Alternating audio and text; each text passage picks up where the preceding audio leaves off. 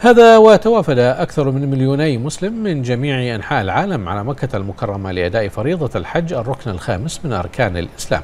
وكشفت الهيئة العامة للإحصاء السعودية أن عدد المصلين في الحرم المكي تجاوز 278 ألف مصل كل ساعة بينما تجاوز عدد الطائفين حول الكعبة 107 ألاف طائف كل ساعة.